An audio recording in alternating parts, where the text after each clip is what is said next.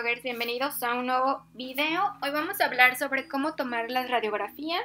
Les voy a mostrar, las voy a tomar en un rayos X, es el Coric 70 Plus USV. Como lo ven, ya viene tiempo de exposición para cada uno de los dientes, son incisivos, caninos, premolares, molares, y donde están las dos muelitas como mordiéndose en oclusión, es para tomar radiografías de aleta de mordida. Podemos seleccionar pues cada uno de los dientes de acuerdo a la que vamos a tomar. Ya vienen predeterminadas para que sea más rápido y más fácil. Y ya tú, o tú lo puedes subir y bajar el tiempo de exposición como tú quieras. Y también vienen lo que son tres, tres monitos uno es para radiografías de niños, el del medio para un adulto normal, un adulto promedio y el tercero es para un adulto de talla un poco más grande y ya tiene su control con botón disparador. En el cabezal de los rayos X dental vamos a encontrar los grados y una marquita roja a un lado para poder medir los grados para cada una de las radiografías y estarlos viendo y tenerlo en, la angulación de grados es exacta. Es súper importante que cuando estás empezando aprendiendo a tomar las radiografías para que te salgan y demás, uses los grados exactos. Ya después con la práctica ya realmente no ves los grados, ya sabes la angulación y la tomas la radiografía. Pero de inicio es una muy buena forma para, para aprender. Cuando el cabezal va hacia abajo, como está ahorita, los grados son positivos. Y cuando el cabezal está hacia arriba, los grados son negativos.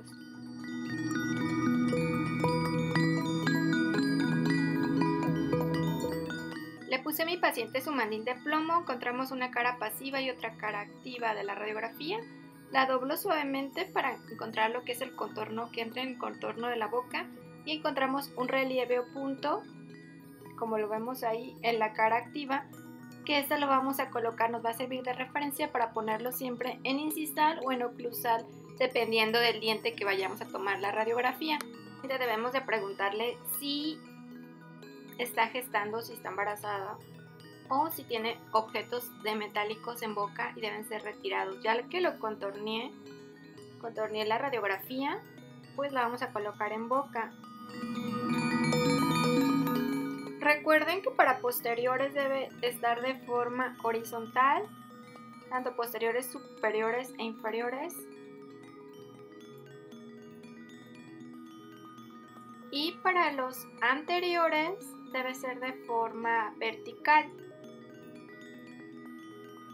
Horizontal posteriores, vertical anteriores, siempre con el puntito o el relieve hacia incisal o hacia oclusal.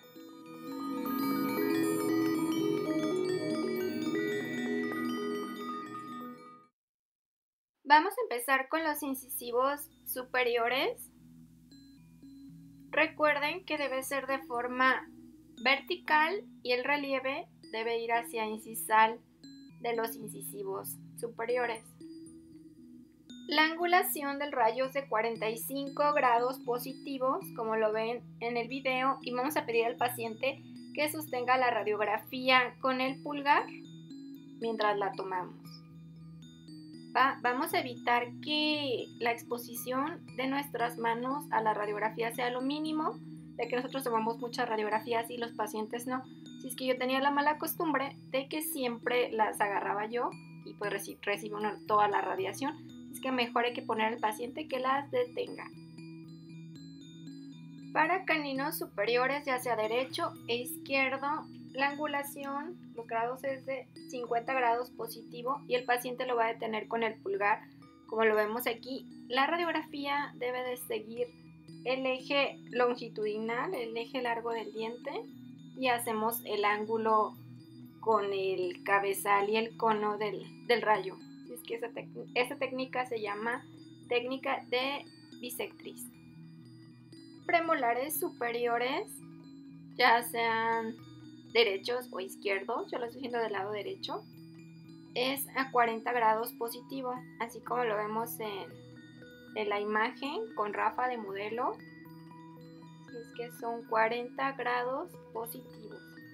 Ahí lo vemos cómo se ve de frente. Y recuerden que posteriores la radiografía es de forma horizontal.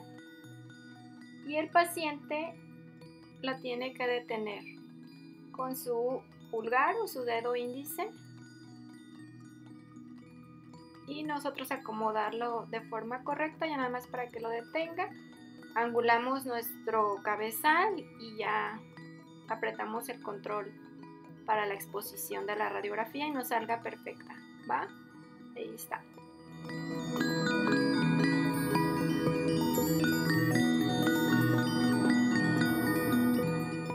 Para molares superiores es una angulación de 30 grados positivo, se va más hacia atrás la colocamos y le decimos al paciente que la detenga con su índice del lado contrario.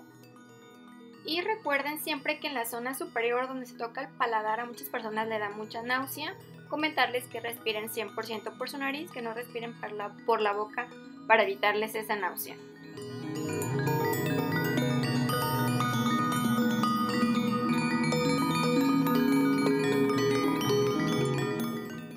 Incisivos inferiores es una angulación de menos 25 grados, 25 grados negativos.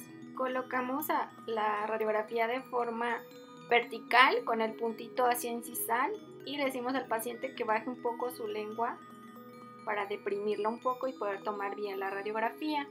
Ya lo que es el canino inferior es a menos 20 grados y e igual le decimos al paciente que coloque el índice del lado contrario para sostener la radiografía.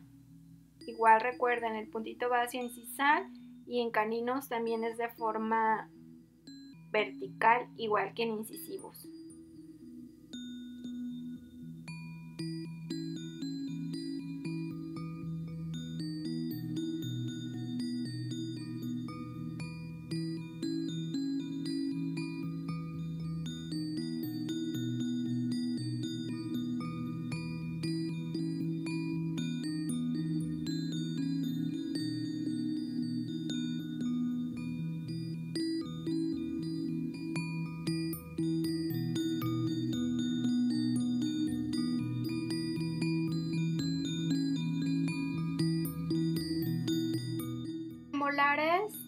Inferiores es a menos 15 grados.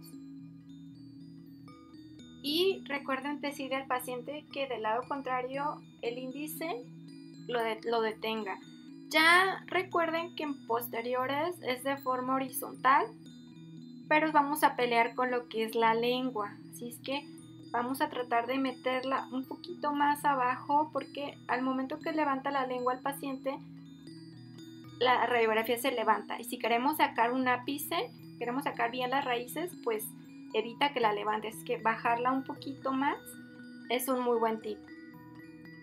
En molares inferiores es a 5 grados, menos 5 grados, 5 grados negativo